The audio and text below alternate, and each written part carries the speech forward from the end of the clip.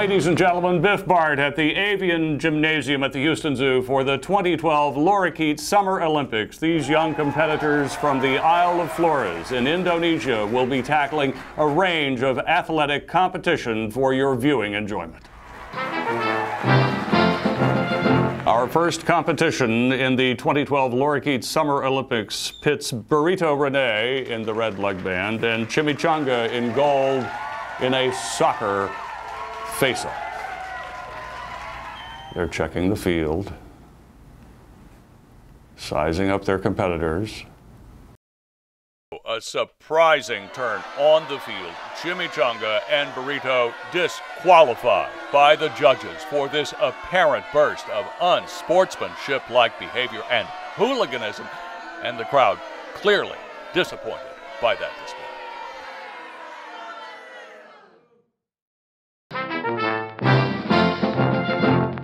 Have Burrito. Here we again see the traditional side gate and, and an early dismount. She can't be happy with that one. Now, not the best arena for Chimichanga, but going all the way and making a beak point dismount. The judges have got to love that move.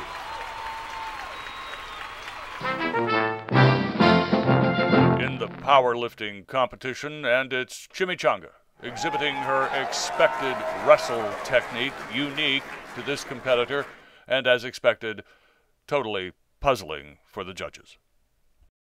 Burrito, Burrito displaying such energy, such enthusiasm as we expected, taking the slam and defeat tactic that worked so well in qualifying.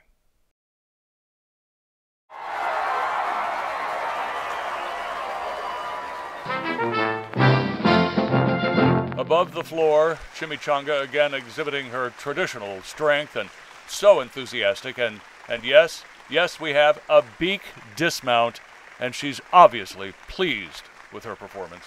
And now Burrito takes the rings, more of an aggressive technique and not unexpected for this competition. And at dismount, we have a beak point, a stunning display, a beak point dismount. The judges have compiled their figures, and, and it's Burrito in a landslide victory at the 2012 Lorikeet Summer Olympics at the Houston Zoo. Let's go to Tom Goldman for his medal ceremony interviews. Tom. And Tom at the medal ceremony interviews. Tom, you're on. Tom, can someone let Tom no, we're, we're live. Tom, someone check his batteries.